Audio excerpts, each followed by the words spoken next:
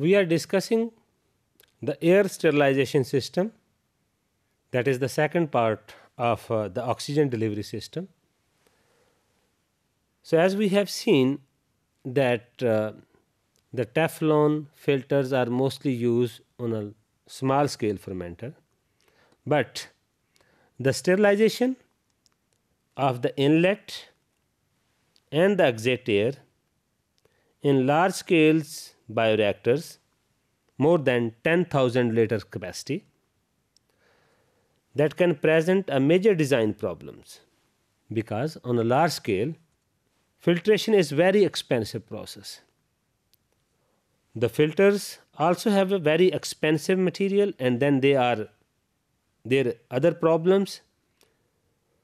So it is uh, very difficult to make and the, make the filter and then there energy requirement that is very considerable factors while designing while selecting the filtrate material or a different filter for large scale fermenters. As we know that heat sterilization is uh, an alternative option apart from the filter system heat sterilization system is also used.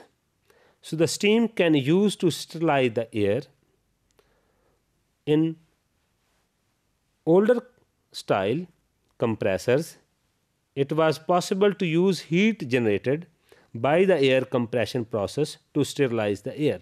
Because sometimes when the compressor compress the air in that process heat is also produced when that heat is produced so that is automatically help to sterilize the air but at that time the heat is required and the temperature is required created by that compressor should be that must need the sterilization requirement.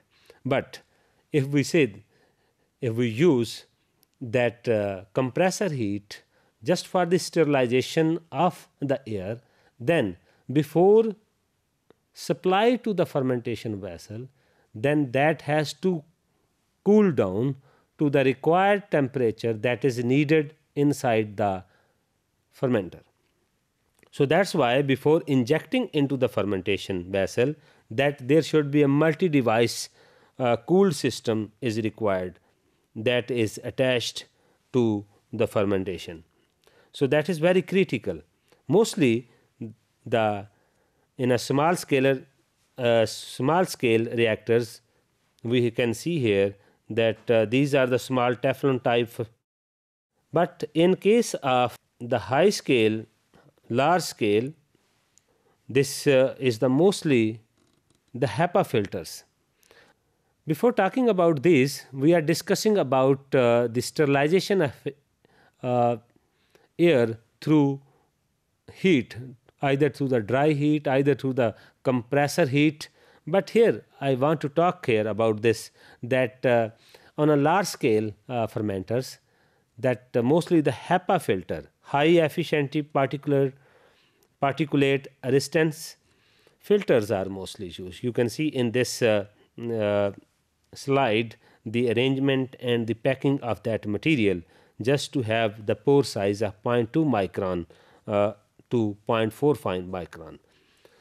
But this is the small size of uh, HEPA filter that is mostly used in uh, different uh, fermentation and other biomedical equipment. But as we know that we are talking about the air sterilization and then the condenser is needed. Just that is the simple heat exchanger through which the cool water is passed around the air chambers that uh, just to maintain the temperature. So, in such case there is another problem. When the air has to exit from that, then there is uh, the volatile substances. And then air has to pass through that, then there is the fermenter should be attached with a condenser. So before exit the air outside, then that should pass through the condenser and condenser should be linked with the chilled water. So that's why that minimize there are two role of that uh, condenser. One is that uh, reduce the escape of the volatile compounds. On other hand, that also reduce the evaporation loss through the fermentation. So the dry the air also prevents the blocking of the air exit air filter with the water. But in problem of uh, using the filter on the exit point because when the air pass through the medium that mostly become wet and that is the more chances of uh, the choking or the blocking of the exit filters. So in such case we have to be very careful because sometimes when there is a blockage of the air from the outside in an exit point then what happens there is a continuously rise of the pressure so in case of the laboratory scale fermenter, when the vessel is made up of the glass, then there is a chance of uh, burst. So we have to be very careful while uh, maintaining that uh, the pressure on exit point.